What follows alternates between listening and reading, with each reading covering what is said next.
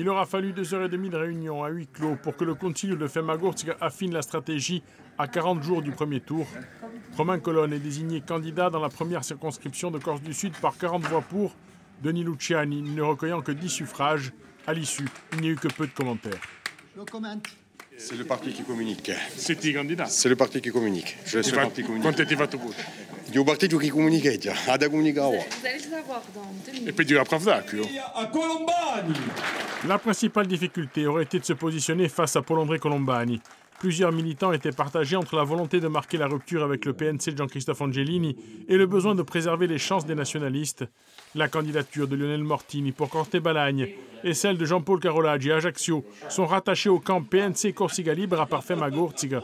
D'aucuns y voient des motifs de rupture du contrat passé en 2017. Pour autant, aucun candidat n'a été désigné dans la deuxième circonscription de Corse du Sud. En fin de réunion, un communiqué a été lu. Le Conseil de Femois Gorsia a mandaté l'exécutif du mouvement et les candidats investis par celui-ci pour demander le respect plein, plein et entier de l'accord politique visant à créer les conditions de la réélection de trois députés nationalistes sortants et pour construire une stratégie gagnante dans la première circonscription de Corse du Sud. C'est très mal passé auprès de certains militants de l'extrême sud, apparemment, qui voulaient présenter un candidat. Face aux doutes de quelques militants inquiets de la désunion, Paolo Zantoparigi a exhorté à se retrousser les manches au plus vite et à faire valoir le bilan des sortants dans la campagne.